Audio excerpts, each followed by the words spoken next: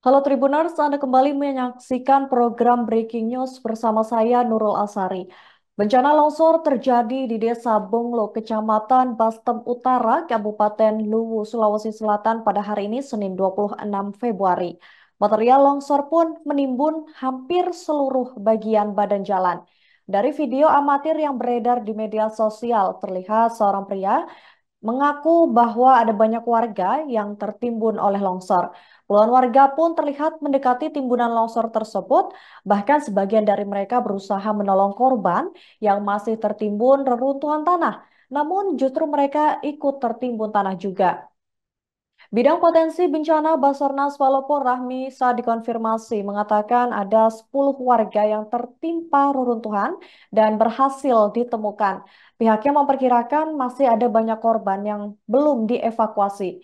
Kemudian secara terpisah juga, Kepala BPBD Luwu Andi Baso mengatakan bahwa saat jalan poros Luwu Palopo saat ini masih kondisinya masih terputus dan proses evakuasi masih terus dilakukan.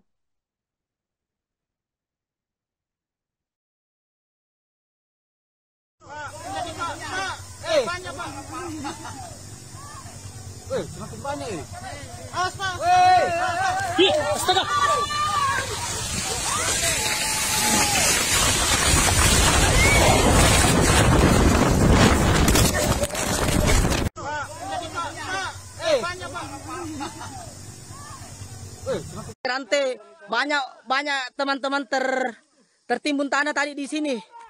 Motor juga banyak tertimbun tanah. Banyak motor tertimbun tanah. Banyak orang tadi teman banyak di sini tadi tinggal tertimbun tanah.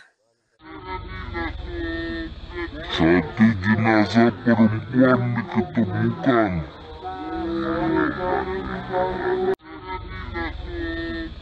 Satu jenazah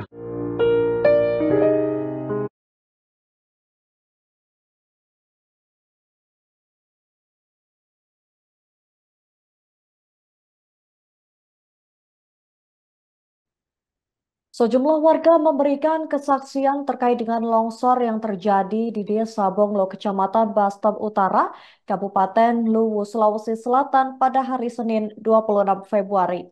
Satu di antaranya adalah Ketua Panitia Pemilihan Kecamatan atau PPK Suli Barat, Kabupaten Luwu, Sulawesi Selatan, Mansyur, yang mengungkap saat dirinya berhasil lolos dari maut. Dia menyebut bahwa dia hampir saja menjadi korban bencana longsor yang terjadi di Desa Bonglo, Kecamatan Bastam Utara Luwu. Masyur lantas menceritakan detik-detik dirinya bersama dengan sang istri selamat dari bencana longsor tersebut.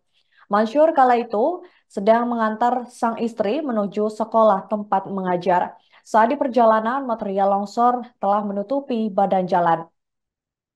Puluhan motor Kendaraan yang hendak lewat pun terpaksa berhenti mendadak.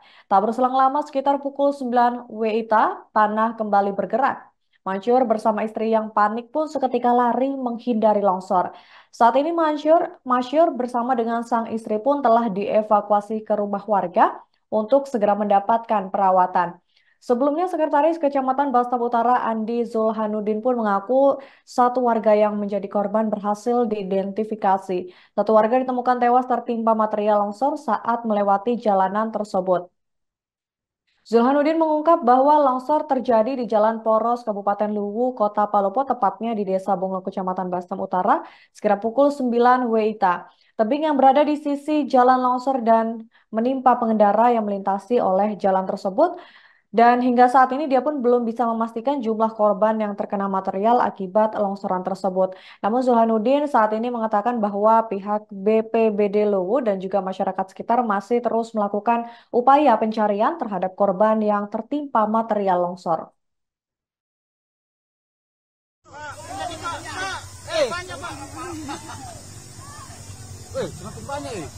astaga. Weh,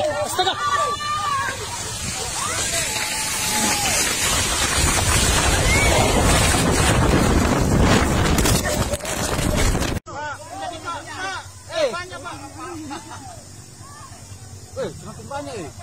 Awas, Pak. Weh, astaga.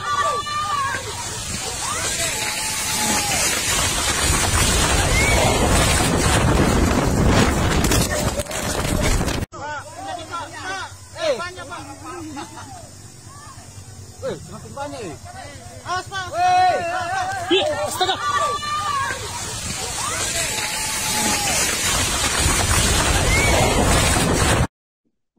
Korban longsor di Desa Bunglo, Kecamatan Basem Utara, Kabupaten Luwu, Sulawesi Selatan bertambah pada Senin 26 Februari 2024. Sebelumnya dikabarkan ada dua warga yang tewas dalam kejadian ini.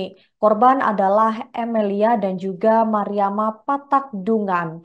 Emilia diketahui berprofesi sebagai seorang bidan di Puskesmas Kecamatan Bastem Utara. Sedangkan satu lagi, Mariama Patak Dungan, berprofesi sebagai guru di SDN 51 Salu Limbong.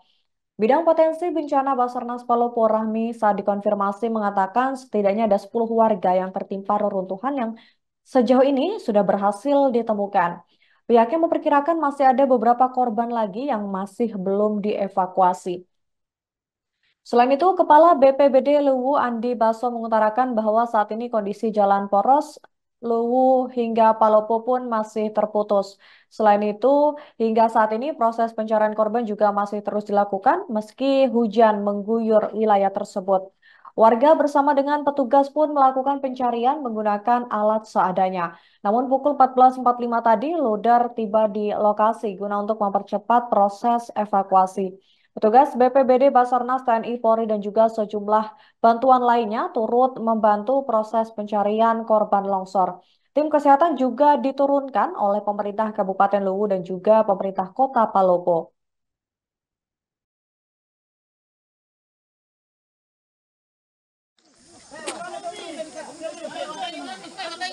Masih labil ini tanahnya.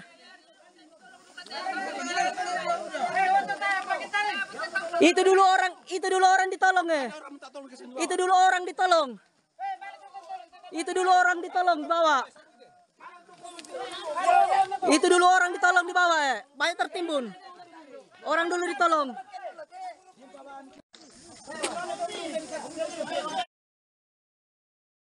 Hari ini saya Nur Lasari dan juga tim yang bertugas pamit undur diri. Terima kasih atas kebersamaan Anda. Selamat sore dan sampai jumpa.